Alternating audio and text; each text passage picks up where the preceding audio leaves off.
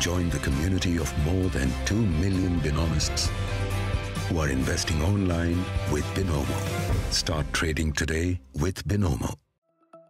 Scientists have for the first time discovered 301 new planets orbiting their stars outside of our solar system.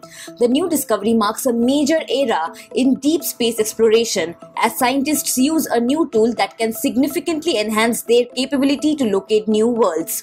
The discovery adds to the already discovered 4,569 exoplanets orbiting many distant stars.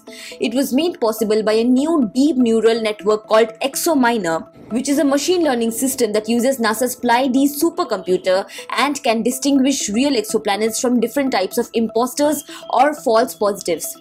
This makes the work of scientists relatively easier compared to years of studies, observations, and waiting. According to reports, ExoMiner learns by using past confirmed exoplanets and false positive cases. According to NASA, it supplements people who are pros at combing through data and deciphering what is and isn't a planet. It derives its knowledge from the vast record of data gathered by the Kepler spacecraft and K2. The discovery has been detailed in a paper accepted for publication in the Astrophysical Journal, which confirms 301 new worlds discovered by ExoMiner using data from the remaining set of possible planets or candidates in the Kepler archive. NASA said that all 301 machine validated planets were originally detected by the Kepler Science Operations Center and were promoted to planet candidate status by the Kepler Science Office.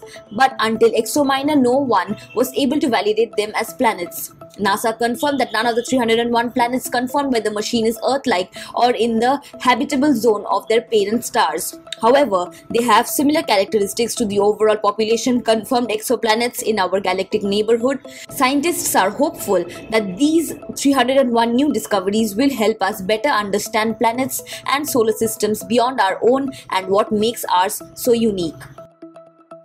Subscribe to One India channel and never miss an update.